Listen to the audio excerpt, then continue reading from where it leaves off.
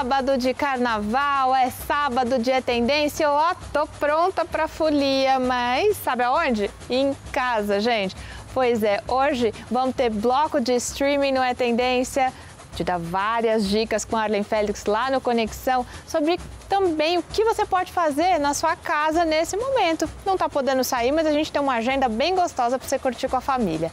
Sabe quem vem também, gente? Dalva Ferrari vai falar sobre a história do carnaval, moda, tem customização e tem dica de make, gente, dica bombástica para você arrasar. É porque você vai ficar em casa que você precisa ficar caidinho, caidinha, dá para fazer muita coisa com a família.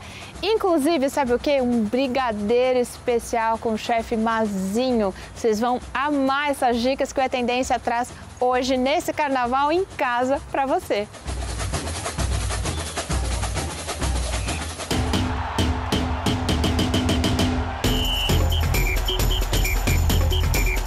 E nesse ritmo de carnaval, em casa, sabe com quem eu tô agora? Com a Dalva Ferrari, que é especialista em moda e design e vai me contar tudo sobre como surgiu o carnaval e a moda. Dalva, que delícia ter você aqui, né? Não, não, é tendência, agora é no formato de programa. Que bom, né? Que bom você nos receber também. E sabe o que eu quero saber? Como é que surgiu esse encontro aí, esse encontro maravilhoso entre o carnaval e a moda? Clara, eu que tenho que agradecer a sua presença, preciso te desejar sucesso, que eu tenho certeza que vai ser um sucesso garantido, esse novo programa teu. E assim, super feliz né, de ter o privilégio de recebê-lo em casa e falar um pouquinho sobre moda e carnaval.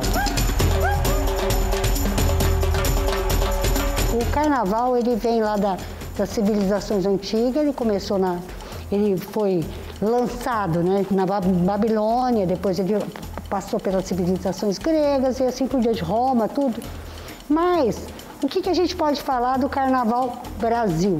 Né? Que ele veio com os portugueses para cá e virou uma cultura popular. Então, é, a gente tem que aproveitar esse momento porque é uma festa de comemoração, é uma festa de alegria. Quantas marchinhas de carnaval que a gente, a gente já ouviu, né? Quantos risos, ó, quanta alegria, né? Lindo, belíssimo. Se a gente pensar, buscar essas referências lá nessas marchinhas de carnaval, é muito linda a letra, não é? É uma coisa que realmente encantava a família. E era gostoso a gente sair e participar disso em clube ou, ou mesmo na rua, carnaval de rua, ver todo mundo fantasiado, todo mundo passando aquela energia boa. Tá, chegou a pandemia, o que a gente vai fazer agora? Eu acho que o momento agora é a gente reciclar, né? Repensar em comemorar não com várias pessoas, mas com a família. E aí, para quem tem criança, gente, são N chances da gente criar alguma coisa. De repente eu tenho copos descartáveis, coloridos, eu tenho máscara do, do, do carnaval passado, eu tenho algumas fantasias, olha, eu posso também customizar algumas peças. O, o abadá, o que, que seria o abadá? A gente quando não vai para um, um clube ou, ou o, é, geralmente uma micareta, é, né? micareta, quando é. a gente vai, a gente não compra o abadá. Todo mundo coloca o abadá como como a gente adquiriu? Não, a gente quer colocar brilho, a gente quer colocar algum detalhe. Olha o detalhe do meu, do meu tênis, por exemplo. Que é todo customizado, né? Estava me contando. Ele é. era é, cadarço preto, eu resolvi colocar um prateado. Eu fiz essa aplicação nele, por quê? Porque a criança, ela vai olhar e vai achar isso interessante. Então, por exemplo, você falou do, dos abadás, né, Dalva? Até aqueles abadás que, que, estão guardados há muito tempo Sim, no meu armário, eu posso usar pode. agora para uma brincadeira, Reutilizar, né? Isso é sustentável também. Claro, uma brincadeira em família ali, em né? família, de repente você tem quatro, cinco abadás, você pode colocar um em cada filho, de, é, pode até ser de outros, outros eventos, mas parece uma alegria. Coquetéis, você pode fazer coquetéis coloridos, com muita fruta, fazer uma mesa sofisticada, para essas crianças se divertirem. Tem também o lance do confete é, sustentável, sustentável, né? Que você vai, vai picotar folhinhas, né? É, folhas folha, vegetais. Vegetais, mesmo. você Legal. picota e você, você joga, brinca com aquilo. Então é muito interessante o que a gente pode criar Então, transformar isso em alegria com a sua família. Dalva, muito obrigada por receber a gente aqui, viu? Foi uma delícia esse bate-papo. E, claro, em casa, você sempre abrindo esse espaço pra gente. Obrigada, viu? Você é demais. Estou muito feliz de estar aqui. Então, quem tem que agradecer sou eu, né, Cora, pela oportunidade, pela presença de vocês. Adoro recebê-los aqui, tá? E queria te desejar muito sucesso. Sabe o que, que vem agora, Dalva? Olha só que bacana. A Ana Luísa Torres, ela customiza maquiagens, ela, ela personaliza, ela cria avatares todos virtuais. Ela faz o maior sucesso no Instagram. Vamos ver os vídeos de carnaval que ela fez especialmente para o É Tendência.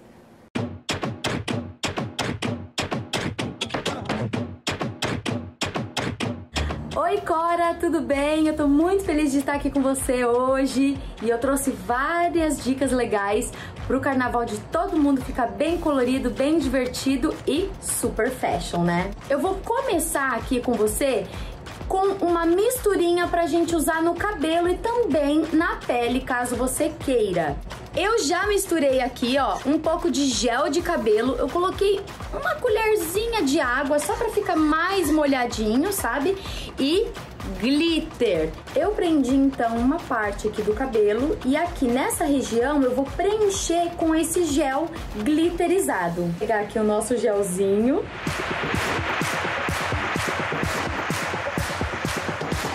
Depois de aplicar o gel, eu vou desenhar então assim, ó, para ficar bem riscadinho, bem marcadinho com o pente, ó, para ficar bem bonitão, bem arrumadinho.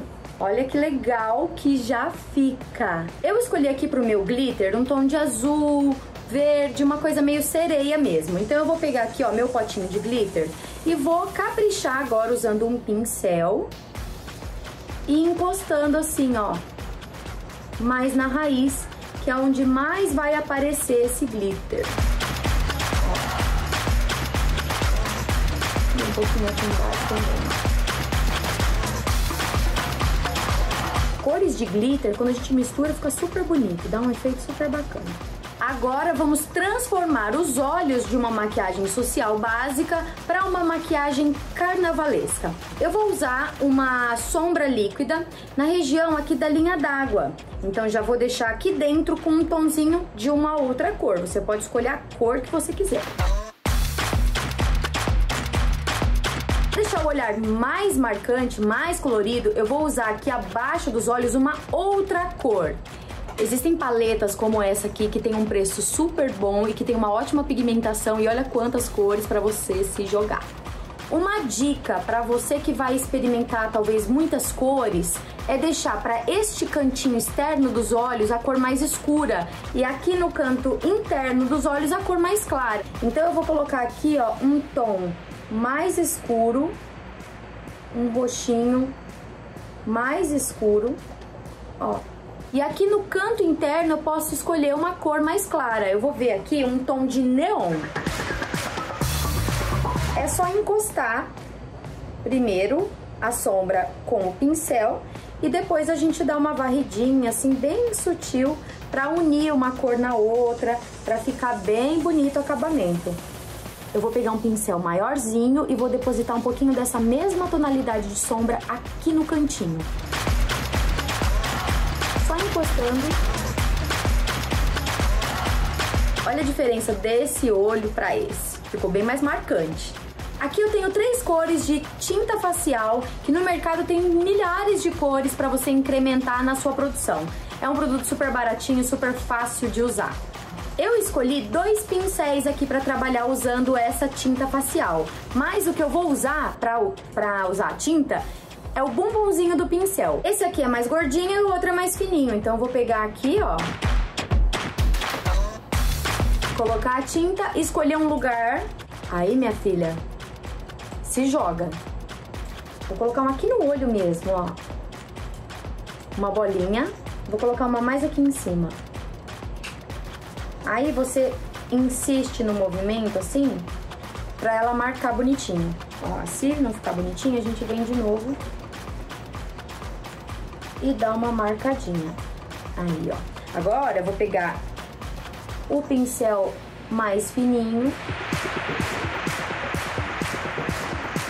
E vou fazer mais pintinhas, ó. Eu vou pegar esse azulzinho que eu usei, vou marcar com esse bumbumzinho de pincel e vou fazer outras bolinhas, ó. Posso fazer até bem em pertinho da outra bolinha, assim, ó, porque fica como uma estampa, sabe? Para deixar essa produção ainda mais babadeira, vamos colocar uns cílios bem grandão. Eu tô com um batom, é, um batom mate e eu passei um gloss por cima. Então agora eu vou selar esse batom com um glitter rosadinho. Para grudar o glitter já no pincel, eu encosto um pouquinho aqui nesse meu gloss. Aí eu pego, que aí ele gruda aqui, ó. Aí eu venho dando uma coladinha. Tem mais um item bacana que você pode comprar para incrementar a sua produção, que são pedrinhas para você colar no rosto. Elas são meio grandes até, então eu vou usar elas para colar aqui nessa região. E esse foi o resultado da minha produção de carnaval. Eu espero que você tenha gostado. Aqui nós temos várias dicas que você pode usar da maneira que você bem entender divirta-se. Essa é a minha maior dica, tá?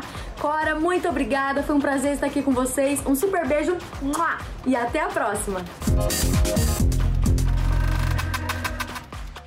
O único compromisso de quem tem um telejornalismo sério é com a informação precisa. A TV é um veículo ágil e o seu jornalismo deve ser moderno. Nosso compromisso é com a informação correta. Cada informação deve ser confirmada. Ouvir sempre os dois lados, frente e verso de uma informação. Não podemos complicar a vida do público. Em 1988, ou seja, há 33 anos, Silvio Santos escreveu os princípios do jornalismo no SBT. Era uma carta para guiar todos os jornalistas. Desde então, muita coisa mudou na vida das pessoas. O que não mudou foi a fidelidade a estes princípios. Nosso jornalismo deve ser para o público, tão indispensável quanto o alimento do dia a dia. SBT Interior 30 anos. Jornalismo que evolui. Princípios que não mudam. E agora tem conexão com Arlen Félix.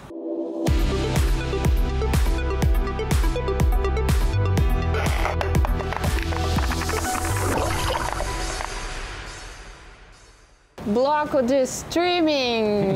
Arlen. É o bloquinho Unidos do Streaming que está no ar. que demais. Ai, tava com saudade de Ai, gravar junto com você. Gravei Que sozinho bom. o último. Que delícia, né? E vocês estão vendo que são vários formatos. Sempre o Arlen vai ter uma novidade para vocês. A cada programa ele vem de um jeito, né, É Arlen? isso mesmo, amiga. E dessa vez, assim, as dicas é pro movimentar o bloquinho Unidos do Streaming, para quem vai ficar em casa durante o carnaval.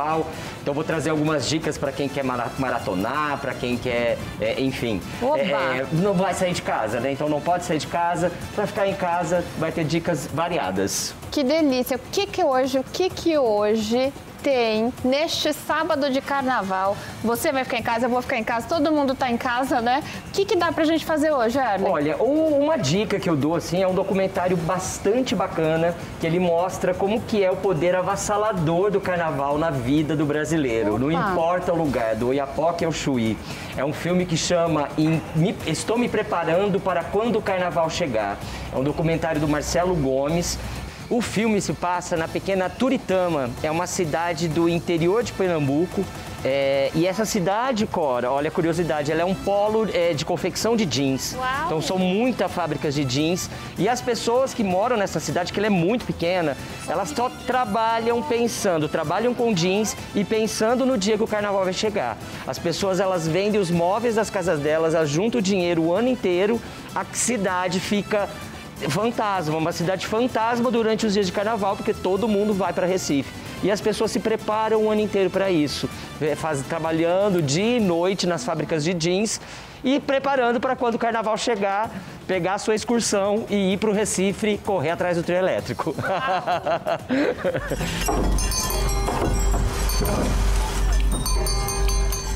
Ah, tem outra dica que não é um documentário, mas também fala de um personagem real do nosso carnaval. Aliás, uma figura muito importante do carnaval brasileiro, carnaval carioca, que é o Joãozinho 30.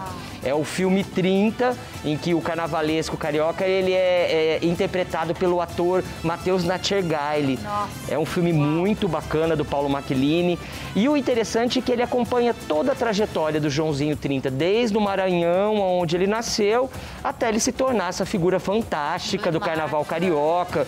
Quantos desfiles emblemáticos, o cara que, né, que fez do lixo um luxo, né?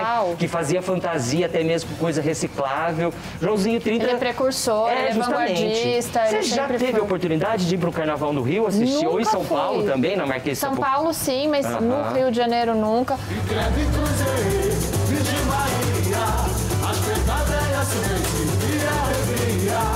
Se você é aquela pessoa que gosta de correr atrás do trio elétrico, tem uma dica de outro documentário que chama Axé, Canto de um Povo de um Lugar.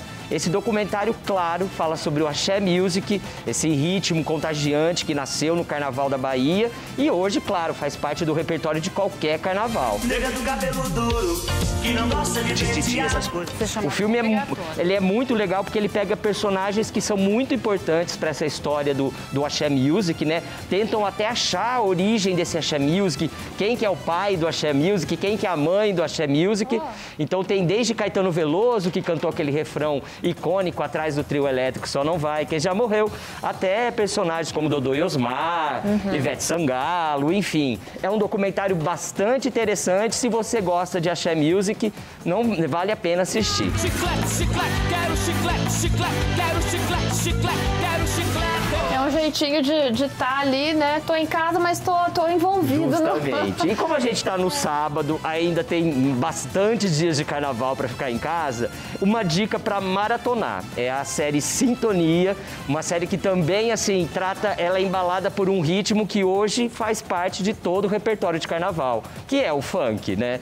O funk é aquele estilo musical que ame ou odeie, pelo menos no carnaval todo mundo acaba dançando. Algum momento, claro, quando a gente podia se aglomerar, né? Porque agora vai ter que ouvir funk em casa ou, se quiser, assistir essa série que é muito bacana. E aliás, a segunda temporada acabou de estrear, então se você não viu ainda, vai dar para maratonar até a quarta-feira de cinzas, não tem problema. E o Sintonia ele gira em torno de três amigos, três jovens, né, que moram numa comunidade no Morro Carioca, e é claro que eles representam aspectos que fazem parte da- dessa ur- urbanidade da periferia, né? Aí família, comprei um AP aqui perto. Tá gastando, hein, boy? Você também viu seu carrão lá fora. Queria muito reabrir a igreja. Ela é muito importante para a comunidade. que é a criminalidade, que é o funk e a religiosidade, a religião evangélica, né? Se você não gosta de funk, não se preocupe, porque a história é muito bacana, tem muita ação, tem muita emoção, dá pra se divertir muito. E tem mais dicas? Claro que tem, né? Agora, no nosso bloquinho Unidos do Stream, tem até matinê.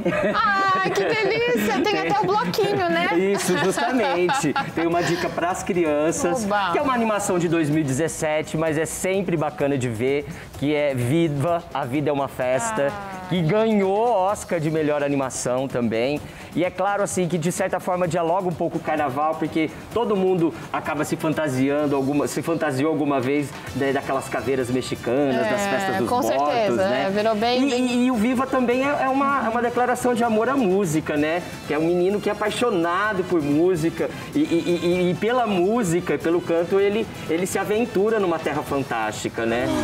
O que tá acontecendo? Tem que ficar perto de mim. Sabemos onde estamos. Bem-vindos ao mundo dos mortos. Você assistiu, com certeza, Ah, eu né? assisti, eu adoro assistir animação. Ah, eu também. Eu acho que, é, a- pra, pra mim, assim, às vezes eles, eles são tão emotivos. Eu acho que é um filme pra assistir com a família mesmo. Justamente. Né? A, a Olivia, minha filha, amou. Mas eu acho que eu amei mais ainda, Ah, sabe? é. Aquele filme de chorar. Porque a gente chora em animação, né? Pode. Justamente. E o que é bacana isso, é é. isso, assim, eu acho que né, falam que é filmes para criança, mas não é, porque assim, cada um se conecta com algum aspecto da história. E claro, a gente que é marmanjo é inevitável não chorar, porque é emocionante, viu? Então, aproveite aí que você tá no bloquinho do Unidos do Streaming e curta com, a- com o seu filho, com a sua filha, Viva a Vida é uma Festa. Tem algo a declarar? Olha, pra ser sincero, sim. Ai, que delícia, Ellen. Dicas, ó, deliciosas pra gente ficar juntinho. Isso né? mesmo. Juntinho, não podemos badalar, não podemos ainda, né? Mas quem Ainda. sabe no ano que vem nós vamos, dois vamos recolher estaremos. as fantasias para o ano que vem. Exatamente, vamos reciclar, como disse a bem a Dalva, Isso, né? isso. No, no outro bloco. E sabe de uma coisa, gente? Ano que vem a gente espera vocês saber onde? Na Marquês de Sapucaí. Ó, imagina, direto. Né? Então, ó, pra esse, um beijo bloco do streaming, já já eu volto. Beijo, até mais.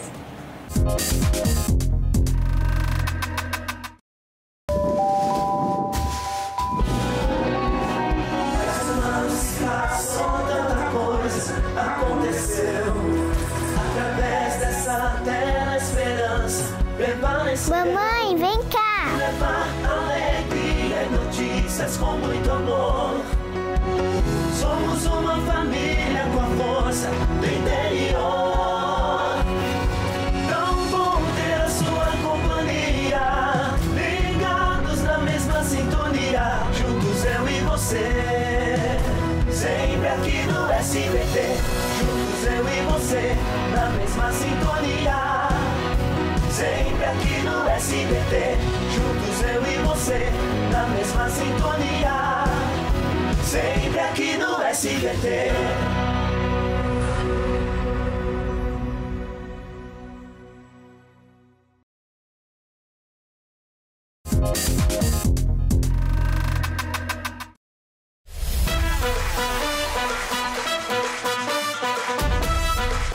Carnaval em casa sem brigadeiro, gente, você já pensou? Sem uma comidinha conf, uma comidinha deliciosa? Não tem jeito, né? E olha só como é tendência tá chique nesse carnaval em casa. Tô recebendo o Mazinho, que já participou do Bake Off Brasil no SBT. E, gente, que honra ter você aqui fazendo o quê, Mazinho? Me conta. Brigadeiro, mas honra é toda minha, gratidão pelo convite, Cora, eu tô super feliz. E nada como um brigadeiro, que é delícia nacional pra alegrar mais nosso carnaval, né? Né? E brigadeiro é tendência, né? Com certeza, brigadeiro sempre tendência, né? E o legal do brigadeiro é que dá pra gente brincar com sabores, criatividade e dá pra voar bem alto com o brigadeiro. Então vamos lá, hands Vamos lá? Vamos lá. Vamos lá. O que, que eu preciso para esse brigadeiro fácil e delicioso, que inclusive tem até paçoca sem açúcar? Tem paçoca sem açúcar. Meu hein? Deus, me conta, o que, que eu tenho aqui? Leite condensado. Ó, nós temos quatro, quatro ingredientes. Olha. Uma caixinha de leite condensado, uma caixinha de creme de leite, Uhum. uma colher de manteiga e cinco paçoquinhas. Acha. Só isso? Só isso. Quatro ingredientes? Quatro ingredientes para Meu... um brigadeiro delicioso. Não, e feito por você, né? Ai. Só que na minha casa, será que eu vou dar conta de fazer Com um... certeza, eu tenho certeza que a sua filhota vai te ajudar, vai gostar muito da receita. Então vamos combinar uma coisa, eu Vamos. vou fazer, vou tentar e depois eu te conto. Fechou. Só que agora você vai fazer, né? Com certeza, Que eu não vamos vou lá. perder essa boquinha hoje aqui não, né, gente? Então vamos lá. Vamos lá, vamos lá. Leite condensado primeiro, Mazinho? Isso mesmo. Leite condensado. Aqui pra você. Já dá vontade de comer antes, né? Né, leite condensado é impossível não gostar, né? Gente, essa é uma, é é uma memória afetiva, né? Pois é. Uma memória afetiva que, assim, acho que todo brasileiro é apaixonado por leite condensado, né? Pelo amor de É Deus. muito bom. E aqui, aqui. Aqui é o creme, Creme de, de- leite. E assim, o creme de leite, ele, ele que dá a cremosidade do brigadeiro. Tem muita gente que não faz com creme de leite, mas o creme de leite é importante por causa da cremosidade. Ah, então esse é o seu truque. Ó, você tá até ensinando o truque de, Sim, de é uma chefe dica, aqui. é uma É uma dica, dica. é uma dica. Pega essa dica aí, então, pra gente também complementar, tem manteiga aqui. Isso, Né? uma colherzinha de manteiga. Quem não Uma tiver, colher. Uma colher. Quem Tá. não tiver manteiga em casa pode usar margarina também, que não tem problema, tá? Mas pra ficar, esse do mazinho tem que ser a manteiga, ser né? manteiga. Então tá bom. E aí, pra gente finalizar, então, o que que vai, mazinho? As paçocas. As paçocas. As então, paçocas. ó, um, dois, três, quatro. Quatro ingredientes. Olha Aqui que eu vou fazer as paçocas, eu vou com a mão mesmo.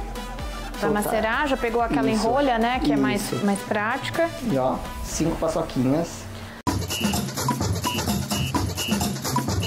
Bora ligar o fogo? Ai, ai, ai. Olha, e um segredo também é sempre colocar o fogo é, médio Uhum. pra baixo, tá? Não Ah, adianta é? fazer com pressa, colocar no, no mais alto que não dá certo. A gente acha sempre que colocando no mais alto vai, Não. vai rápido, né? É porque eu tô com fome, quero comer logo, né? Não adianta nada. Mas né? tem que ter paciência pra fazer brigadeiro. E o segredo também é sempre estar mexendo, mexendo, mexendo, mexendo sem parar, pra não grudar, pra ficar um brigadeiro lisinho. Então o segredo é isso, é mexer, mexer e colocar muito amor sempre.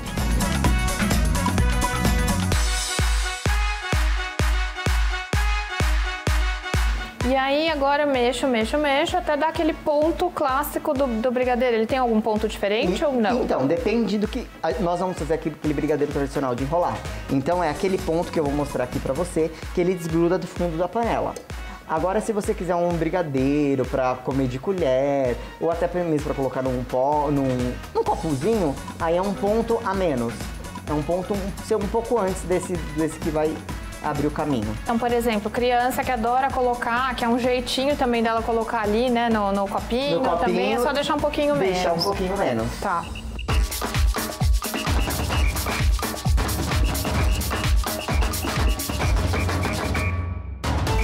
Oba, chegamos ao ponto então aqui, né? Chegamos ao ponto. Agora nós vamos verter num prato e eu vou te dar uma dica super importante. Oba! É, quando a gente verter no prato, é sempre bom você colocar o papel filme em contato com o brigadeiro para ele esfriar e para ele não criar aquela película.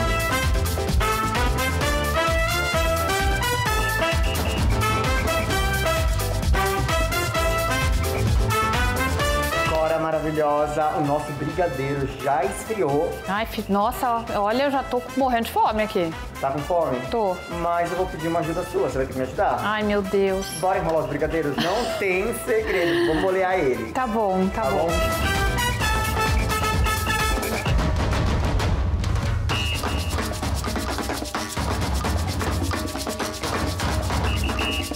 Bora provar? Vamos. Vamos provar. Ó, Ai, ai, que fofo. vamos ver se você vai aprovar, né? Vou provar. Vou falar a verdade. Mentira, deve estar uma delícia. Olha só, os meus não ficaram lindos, mas o dele ficou, tá? Os dele, todos lindos. Eu fiz, na verdade, um só, porque não deu nem tempo, de tão rápido que ele é. Nossa, é muito bom. Sério, você gostou? Uhum, uhum. Você viu como o creme de leite dá, faz a diferença? Uhum, deixa toda. bem cremoso. Mazinho, eu quero agradecer muito essa delícia. Posso levar todos para minha filha? Pode levar. Não vai sobrar para a equipe, então, tá? Podem desencanar, que esse carnaval é só meu. Tudo adocicado, gente.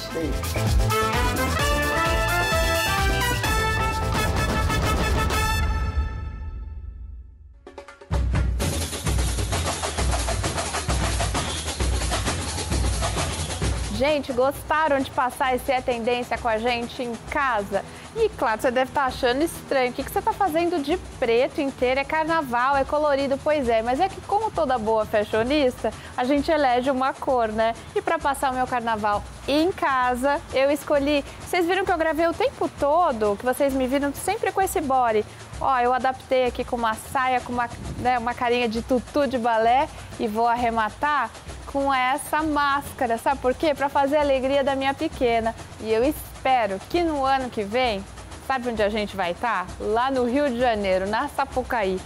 Será que é promessa? Vou fazer essa promessa aqui. Eu, Arley, toda a equipe. Adorei falar com vocês, adorei fazer esse Tendência. Vocês viram como dá pra gente ser feliz e fazer a nossa folia com quem a gente ama.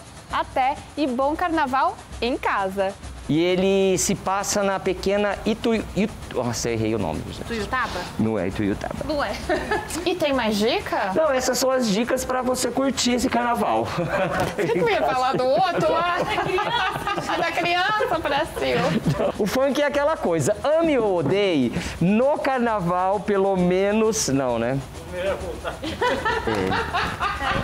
Ai, que vontade de enfiar o dedo, então. Thank